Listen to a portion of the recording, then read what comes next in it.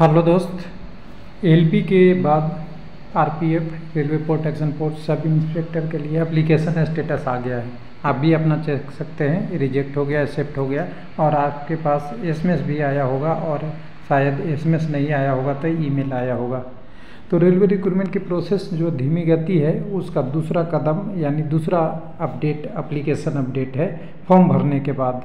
वो दूसरे कदम पे चल रहा है, इसके बाद आती है नोटिस सीबीटी की। तीसरे कदम पे, चौथे कदम पे अगला रिज़ल्ट आता है, या एप्लीकेशन स्टेटस ये सब वगैरह वगैरह आते रहता है।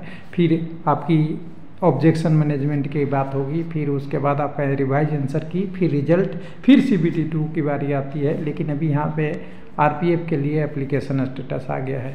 इस हिसाब से देखेंगे तो आपका टेक्नीशियन का एग्ज़ाम 2024 में तो होता हुआ दिख ही नहीं रहा है। ज़्यादा से ज़्यादा एलपी और आरपीएफ एसआई और कांस्टेबल का तक ही लग रहा है सीमित है।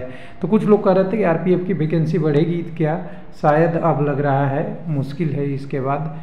सब इंस्पेक्टर और कांस्टेबल दोनों के लिए, क्योंकि ये अब एप्लीकेशन आने शुरू हो जाते हैं तो जनरली नहीं बढ़ता है। हालाँकि रेलवे में कोई भी संभावना से हम इनकार नहीं करते।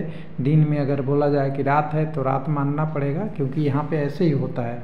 क्योंकि आपको पता है कि एग्ज़ाम कैलेंडर का बात कहकर एग्ज़ाम कैलेंडर की कोई एक्चुअल ही नहीं प्रैक्टिकल ही नहीं दिख रहा है तो आप समझ ही रहे होंगे। तो चलिए वेबसाइट पे देखते हैं। देखने के बाद अभी फिर टेक्नीशियन वाला थोड़ा सा एक मिनट का डिस्कशन करेंगे।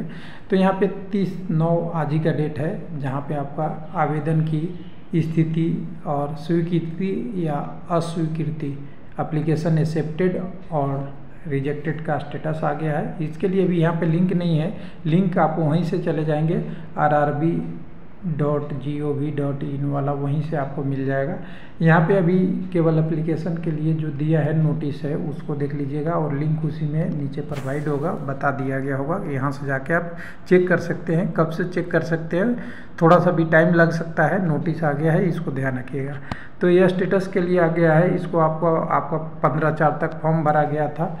कहाँ लॉग इन करके आप देख सकते हैं। Completed candidate view status for their application provisionally accepted अगर एक्सेप्टेड हो गया तो आप सीबीटी की तैयारी में पहुँच गए प्रोविजनली एक्सेप्टेड विथ कंडीशन अगर ऐसा आ रहा है तो आपको कुछ ना कुछ मॉडिफिकेशन की ज़रूरत पड़ेगा, वो कर लीजिएगा।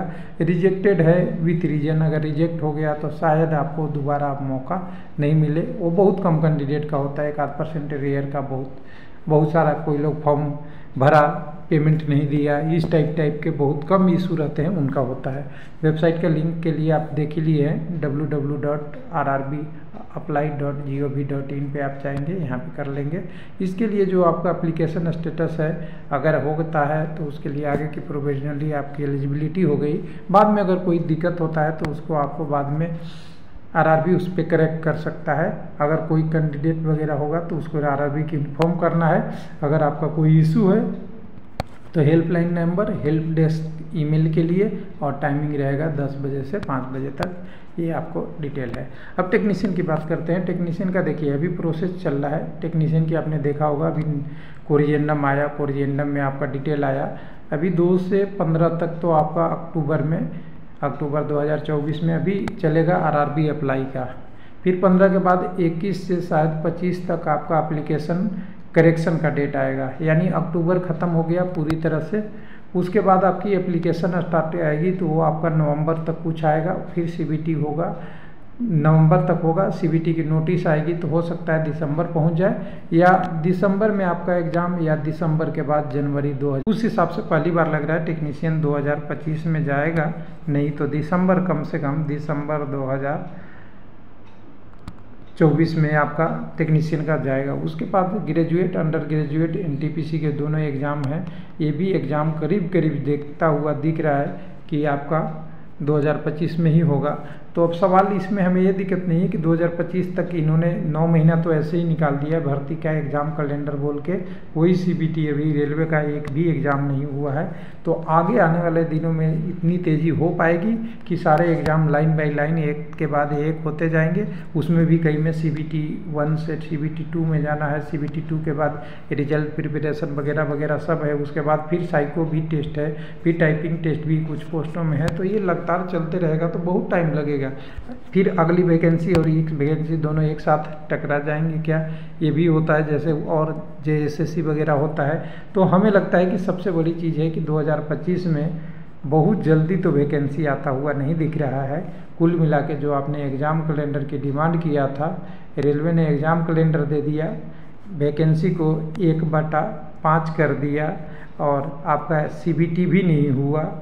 और आपकी एग्ज़ाम के साथ पर एग्ज़ाम पेपर भी नहीं हुआ तो नुकसान किसका है, मैं नहीं बोल सकता, लेकिन आपको समझना है कि नुकसान आरआरबी का है, या कैंडिडेट का है, या कोचिंग चलाने वाले जिन्होंने आपका डिमांड किया था कि एग्ज़ाम कैलेंडर रेलवे में आ जाए, उनका है।